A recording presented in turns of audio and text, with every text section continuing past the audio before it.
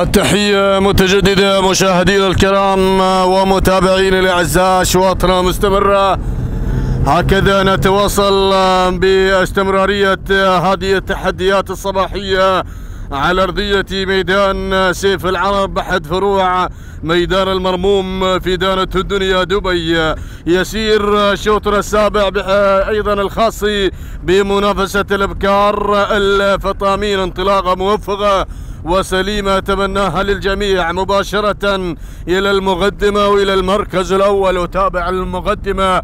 هذه هي مرضية علي بن محمد بن سلطان العويسي على مقدمة هذا الشوط. بينما يليها في المركز الثاني حلوة لسالم بن علي بن سلطان السبوسي بينما في المركز الثالث هذه تقدمت هزر عبد الله بن مطر بشميل الكتبي بينما اللي انطلقت في المركز الرابع هذه هي الشاهنية هزاع بن عبيد بن ركاض العليلي بينما في المركز الخامس هذه تقدمت اسراب سعيد بن راشد بن دغيش من تحتل المركز الخامس. هكذا هي النتيجة والنداء للخمسة المراكز الأولى ولكن نعود نعود إلى مرضية مرضية اللي منطلقة على الصدارة على المقدمة الأولى بشعار علي بن محمد بن سلطان. العويسي ما شاء الله. بينما اللي طلقت وتقدمت هزر. عبد الله بن مطر من شبيل الكتبي على المركز الثاني بينما في المركز الثالث اللي تقدمت حلوة سالم بن علي بن سلطان السبوسو.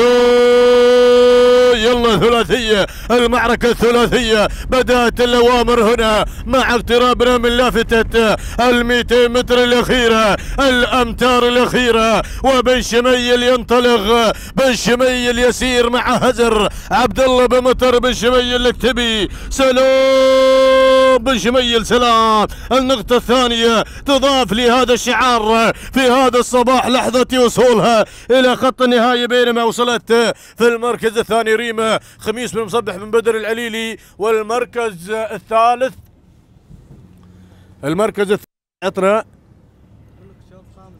المركز الثالث عطنا من خلال تواجدي هذا الشوط وانطلاقته اللي هي أيضا حلوة لسالم بن علي بن سلطان السبوسي هكذا النتيجة للثلاثة المراكز الأولى. التوقيت الزمني دقيقتين و14 ثانية تهانينا لا أيضا عبد الله بن مطر بن شميل الاكتبي تهانينا للجميع. شوف الشوط الخامس بسرعة بسرعة الشوط الخامس تبع أنا متابع